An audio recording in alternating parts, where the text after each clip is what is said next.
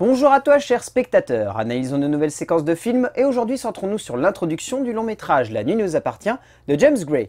Pour replacer la séquence dans son contexte, eh ben, la séquence en question place le contexte du film, puisqu'il s'agit littéralement de l'introduction, où des images d'archives plaçant l'époque laissent place à une boîte de nuit où nous allons découvrir le personnage de Bobby, le héros de notre film ainsi que le gérant de la dite boîte de nuit dans un New York des années 80, ainsi que sa femme Amada. Cette séquence, nous allons la regarder sous l'angle d'attaque l'introduction charnelle d'un contexte glacial. James Gray est connu pour adorer peindre des marginaux qui vont apprendre à comprendre leurs origines afin de mieux les épouser et de se redécouvrir. Et au travers de cette séquence, le cinéaste cherche à planter deux décors. Deux mondes totalement opposés, deux mondes reliés uniquement par une chose, le monde de la nuit. Ce monde que peu de personnes peuvent comprendre, mais surtout que rarement on arrive totalement à saisir. Et cela, Gray le comprend bien et choisit de montrer les deux appartements à la nuit que le métrage mettra en place. La première est celle d'une police devant faire face à la dure réalité de la nuit, celle d'un crime qu'elle ne peut pas gérer, celle d'un crime la laissant froide et figée par la brutalité d'un monde qu'elle ne comprend pas. La deuxième est celle des gangsters, des propriétaires de la nuit, hommes dominant celle-ci, ne l'ayant pas pour acquise et cherchant à en profiter le plus possible sur l'instant dans le mouvement.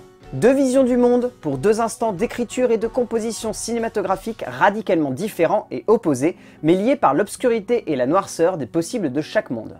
Gray est un cinéaste qui va puiser la base de ses métrages dans l'obscurité de l'humanité. Comme si bien au-delà de simplement chercher à mettre en place un monde glauque, il voulait faire en sorte que ses personnages sonnent glauques, ou en tout cas en décalage avec le monde qui les entoure et qui va jalonner leur aventure. Ici, Bobby est déphasé par rapport au monde de la police, qui est pourtant celui de la quasi-totalité de sa famille, et de par cela, le fait de montrer une police nostalgique et donc dominée par le noir et blanc d'un passé qu'elle ne peut pas contrôler, et un Bobby lui en mouvement, ne faisant attention qu'à l'instant et saisissant celui-ci et ici par le biais d'une chaleur humaine crue et brutale. Littéralement d'ailleurs, puisque dans cette séquence-là, Bobby prend à bras-le-corps le terme de chaleur en allumant sa copine face à la caméra, comme pour montrer qu'il est un homme dominé par le désir et non par la réflexion. Bien au-delà de simplement montrer un homme chaud comme la braise, la séquence montre un homme qui saisit l'instant, qui ne regarde pas les conséquences et qui en cela sera le parfait personnage novice qui pourra être manipulé par le cinéaste au gré d'un récit qui ne peut que le voir évoluer. C'est là que Gray met en place la base de son cinéma, dans une utilisation assez perverse des outils du 7ème art, pour créer un lien fort entre le spectateur et le personnage central de son film, comme pour cristalliser la projection mentale que l'on se fait de cet homme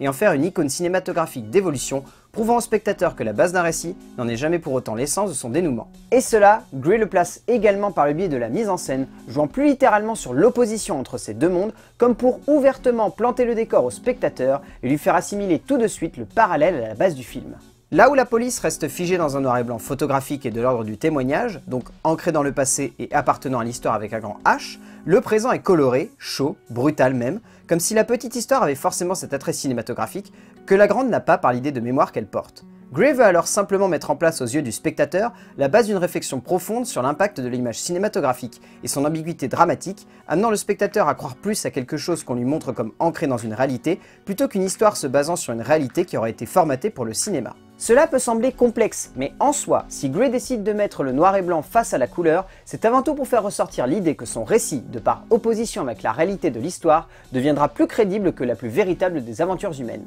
Là où la réalité est enfermée dans le passé, par le choix de la musique, la violence et la véracité de l'image prise sur l'instant comme immortalisant une action qui ne pourra jamais être changée, Gray choisit de faire ressortir ce parallèle en obligeant le spectateur à accepter que si l'image bouge, celle-ci n'est pas figée ou contrainte à un enfermement dramatique. La chaleur du toucher de cet homme sur cette femme, la passion dévorante qui saisit l'instant de cinéma qui l'immortalise, cristallise ainsi un personnage donc dominé par un instant tellement animal, prouvant qu'il décide d'appartenir à la nuit et non de laisser la nuit le dominer, comme ce que les images de la police laissent penser, à contrario de leur devise. Ainsi, on nous montre un homme sachant très bien ce qu'il veut, et surtout comment il le veut, posant alors une base dramatique solide pour la suite du métrage, ainsi qu'une grande marge d'évolution pour ce héros. D'un point de vue caractériel, le personnage est figé, à l'image des photos de la police, enfermé dans cette boîte de nuit qu'il domine pourtant, comme le laisse penser le dernier plan de la séquence, mais comme si finalement il ne pouvait pas évoluer plus et devait se contenter de dominer un avenir figé. Ce que Gray place simplement avec cette séquence, au-delà d'une opposition, c'est également une complémentarité, celle d'un homme qui sera hanté par les images d'un passé figé,